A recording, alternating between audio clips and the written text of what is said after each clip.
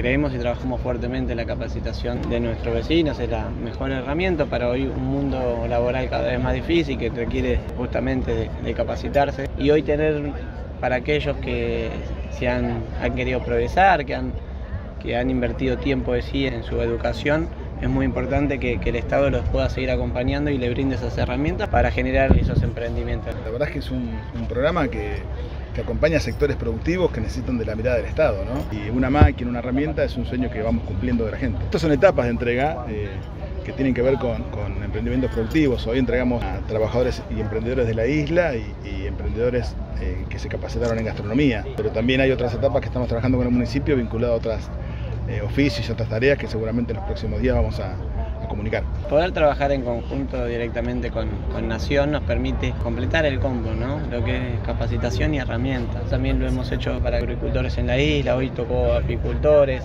Se viene trabajando muy bien de, la mano. Yo siempre lo digo, ¿no?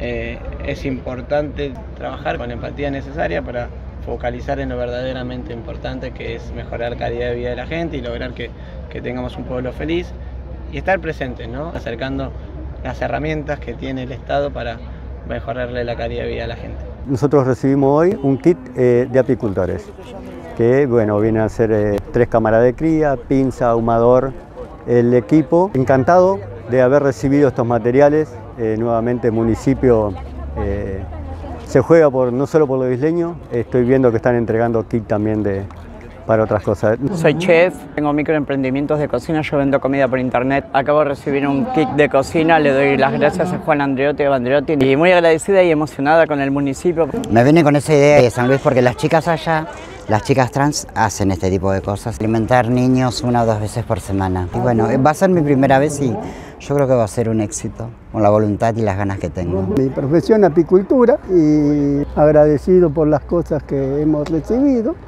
que siempre vienen bien, por más que uno ya hace un tiempo que está en esto, pero eh, ayuda.